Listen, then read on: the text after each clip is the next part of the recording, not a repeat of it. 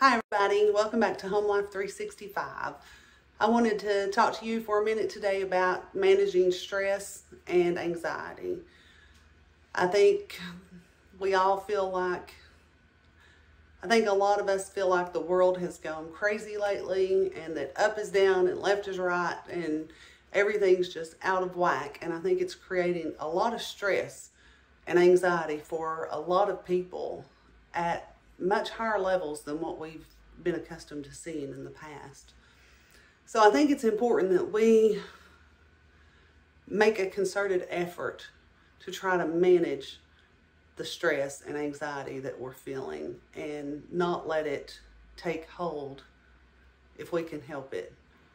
So I want to start with saying I'm not a doctor. I've never played one on TV and this is not medical advice. This is just my opinion and things that have worked for me in the past that I wanted to share with other people. Just as a reminder, I know most of this stuff people probably already know, but just as a reminder that these are things we need to be focused on. So the first thing I will say is there are a lot of hidden dangers with stress if you're not dealing with it. And stress can cause anxiety, anxiety attacks. It can cause sleep disruptions. It can cause weight loss, weight gain. It can cause hair loss. It can cause skin problems. It can cause high blood pressure and it can contribute to heart disease. So it's important that we find ways to deal with stress and try to nip it in the bud as early as possible.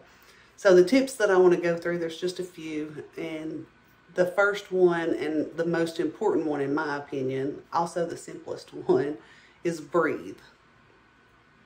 A lot of times when you're feeling high levels of stress, your breathing will become shallow, your heart rate will increase, and you need to offset that as quickly as possible if you can. So if you can just take a two minute break, if you're at work and you start feeling this way, just go to the restroom hopefully people are not bothering you in the restroom and you can have two minutes to yourself to just focus on breathing. Just deep breaths in and deep breaths out. Try to regulate and stop the shallow breathing and slow the heart rate.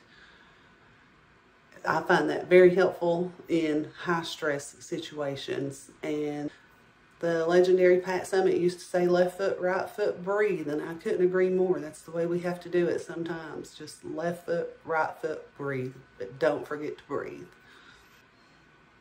My next recommendation is exercise. I know that's a bad word. I don't like hearing that word.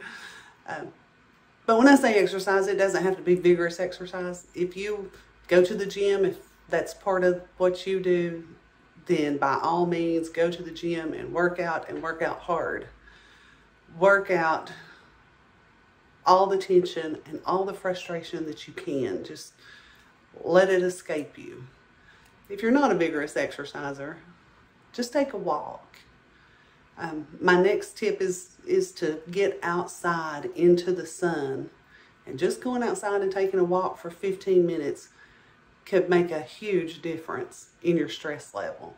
I will say that during that time, please don't take your phone or your iPad, don't have your earbuds in, don't be listening to the news, don't be listening to YouTube videos. Don't, if you have to listen to something, put on one of your favorite playlists and just listen to music.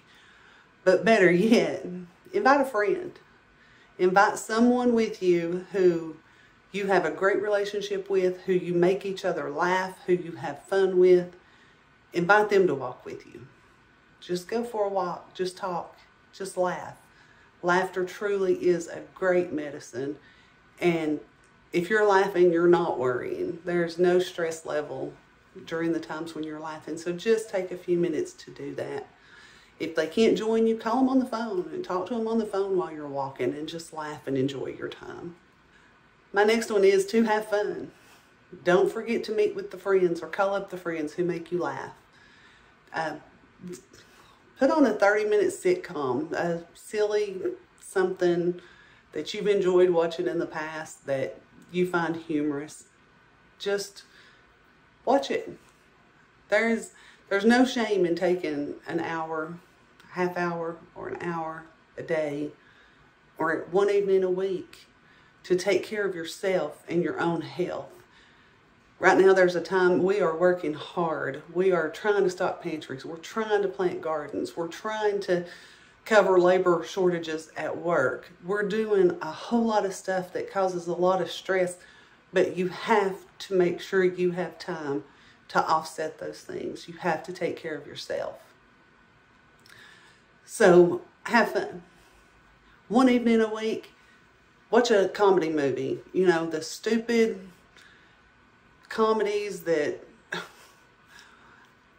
most of us truly don't even like, but they do get us tickled. Find something.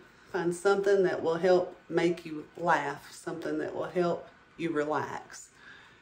And take a little time to do that. My next one is get out in the sun. We all know how important vitamin D is. It's important to get out in the sun. It's important to breathe fresh air. It's important to have the sun wash over us. If you're cooped up in an office nine or 10 hours a day, don't forget to get outside. Um, get up 15 minutes earlier for work and sit out on the porch for five minutes and have a few sips of coffee before you go to work. It could make a huge difference in your day. And I think that's very much been lost over the years. I think um, years ago, Sundays were, you know, after church, you sit on the porch and you drink iced tea or you drink lemonade, or at least here in the South, that's what it, what was going on on Sundays. And that passed. Those days passed. And now there's so much work to be done that people aren't taking time to sit on the porch and drink a glass of tea or a glass of lemonade or talk to the neighbors or talk to their family. So I think it's very important that you just take a few minutes, get outside, take a walk, get outside, and just sit for a few minutes. It could really, really lower your stress level, in my opinion. Another recommendation I have is if you're not a single person, if you if you have a spouse and children and or children or um, parents at your house that you're taking care of or something, I think sitting down to dinner every evening with your family can make a big difference. And several years ago, I made the rule that there's no phones, no phones at the dinner table. It really aggravates me to see people in restaurants even and their heads are down and they're texting or they're looking stuff up or they're watching YouTube videos. And They're not even having a conversation with the people they're with. They're there with. If you can have family dinner every night, even if you sit in silence and nobody talks, it's family time. It's time together. It's time disconnected. It may only be 15 minutes that you're at the dinner table. But it is time that you're disconnected from the other things that are causing you stress. So sit down with your family and eat dinner and don't allow phones at the tables at the table. Don't allow a TV in the dining room. Sit with one another. And if you don't have anything to discuss, sit in silence. Eventually somebody will find something to talk about. The next item I have on my list yes, I'm working from a list because I couldn't remember all of this, is sleep. And the importance of sleep, we all know it's, it's so, so important. I think the most important thing about sleep is that you get yourself on a schedule.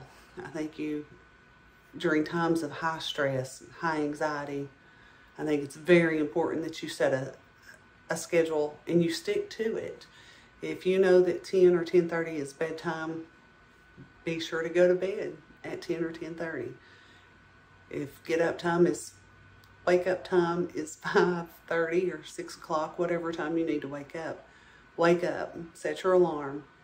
And even on Saturday and Sunday, or even on your days off work, stay on your schedule. Wake up at the same time and go to sleep at the same time because it's easy to train your body, but you have to do that. If you're staying, you know, going to bed at 9.30 tonight and 1 a.m. tomorrow and 12 o'clock the next night and 2 a.m. the next day, your body never regulates to when you want it to sleep. So I think reducing stress levels, it's so important to get sleep and it's so important to get this sleep schedule and stay on it. Make sure your body knows what you're expecting of it. Make sure that you're getting the number of hours that you need. Most of us can't function on four or five hours of sleep. We need eight or nine hours, especially during high stress, high anxiety times in our lives. We have to give our body a chance to recuperate from those things. So sleep is so, so important. And the last thing I will mention is diet. And I don't mean go on a diet and restrict your calories. That's not what I mean at all. I just mean that the importance of a healthy diet is so important during high stress and high anxiety times. I am a stress eater. I know that I'm a stress eater. And I know that when I'm feeling a lot of stress, the first thing that I'm going to reach for is something salty and something crunchy. I'm going to grab potato chips. I'm going to grab pretzels. I'm going to grab something that I should not be eating excessively. And I know that's what I reach for. So to offset that, maybe I will fix a sandwich and a salad and have some chips. That way I'm full, so I'm not excessively eating potato chips that I shouldn't be eating, but I'm not depriving myself of having them. I have them, but I have them in moderation. I know some people are stress eaters and their their food of choice, drug of choice, whatever you want to call it, is um, chocolate or sugar.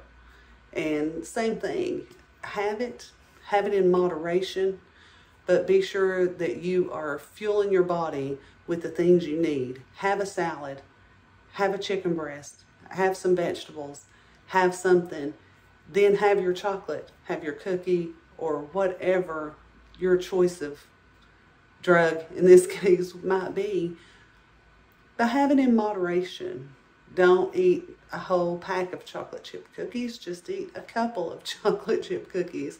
And like I said, I will try to eat a handful of potato chips and not eat the whole extra large family size bag of Lay's because there are times that's what I could do. So diet is important. So those are my tips for today for dealing with stress and anxiety. Like I said, I know it seems like right now everybody is so caught up in everything. It seems like there's a lot of craziness. I think there's a lot of division. I think there's a lot of things happening that we see and and some of the things make us feel like we may be going crazy. Uh, we feel like people are telling us that everything's wrong. Everything we've ever known is wrong.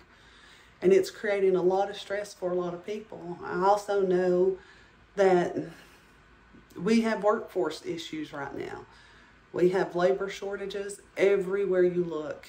There are labor shortages and that creates stress. It's creating a lot of stress for a lot of people that we're having to pick up workloads that previously we didn't have, that we had people filling these other positions and they could, we were, the work was divvied up and now all of a sudden uh, many of us are doing the jobs of two or three people and trying to keep up and it's stressful and it can't be done. We have to let some things go. But I, I do think we've reached a point where it's just super important that people start focusing on taking care of themselves and reducing their stress and anxiety and managing these feelings the best that they can to avoid the manifestations that come along with the stress and anxiety. Uh, you have to take care of yourself before you can take care of anyone else. You hear it all the time. You know, on the airplane, they tell you if the mask drops, put your own mask on first before you attempt to put anyone else's on. You have to take care of yourself or you can't save someone else. So I just want to add that if you are struggling with inflation, if you're feeling stress over the possibility of food shortages or food insecurity, um, I will say again, the most important thing in my opinion you can do is stock your pantry the best you can.